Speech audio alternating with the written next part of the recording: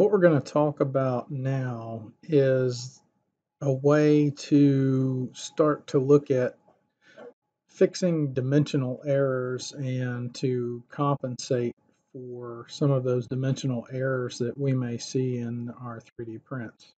Um, overall, the outside dimensions that we will see are going to be pretty close. Um, the printers do really good at uh, printing the outside dimensions, but one thing that they kind of struggle with a little bit are the inside dimensions of holes or cutouts. They could be rectangles, they could be round holes.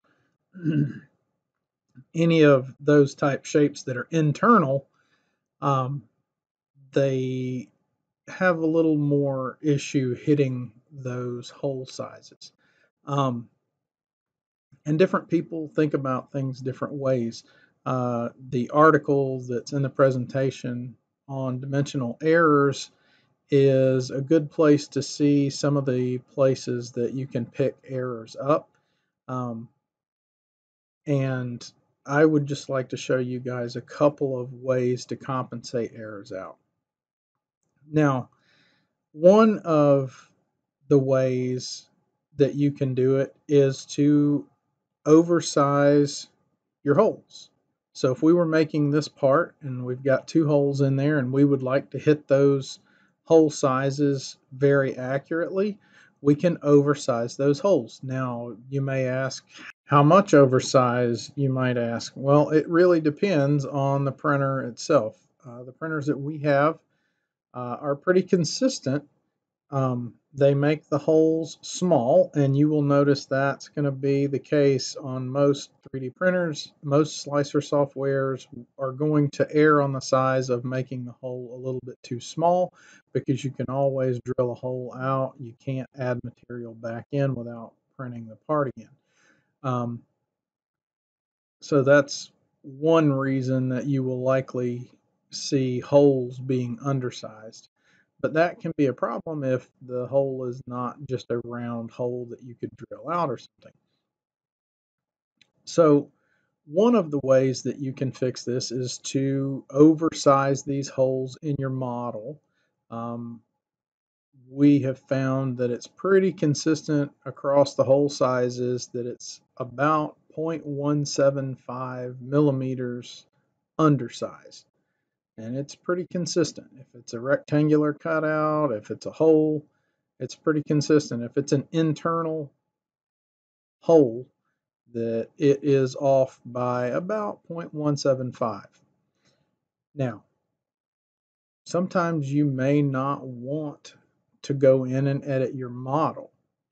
There's a couple of reasons you might not want to, but let's say for solution one, in my opinion, if you are 3D printing the part to be used as a 3D printed part, I would go in and actually edit these holes to be 0.175 millimeters larger than what I would like them to be.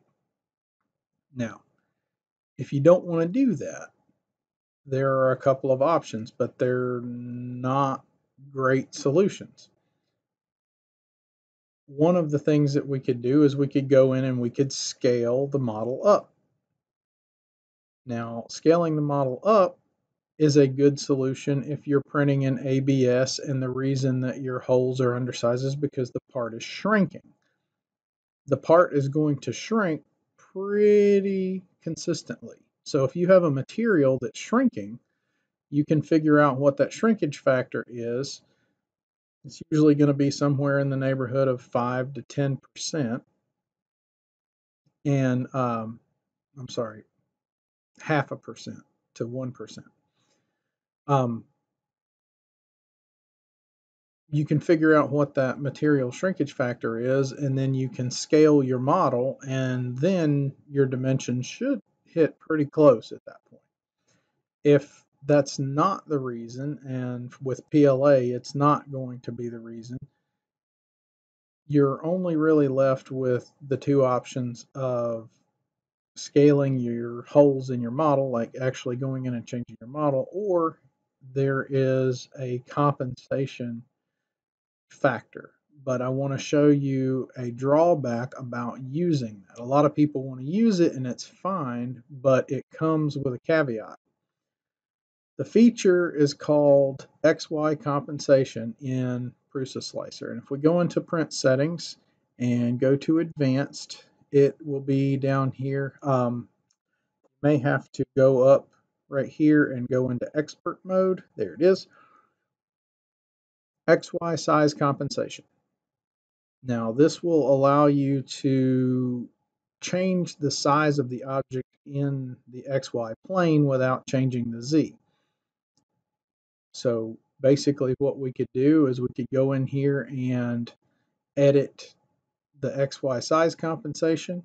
Um, if we hover over this, you can see it'll be grown or shrunk in the XY plane and negative equals inwards, positive equals outwards. So let's put a large value in so that you can see it more readily. So if we look right here, I have aligned this bracket where the outside edges line up with these two lines. So if we go into print settings and advanced XY size compensation, let's do something like two millimeters. So that's a positive two millimeters. If I go back here, I'll have to reslice it. And if you look at what happened, it added two millimeters to all sides. It added two millimeters up here, it added two millimeters down here, it added two millimeters to all sides of the circle. So you can see the holes are now way, way smaller. They're four millimeters underside because it added two millimeters to each size. And the outside is four millimeters wider.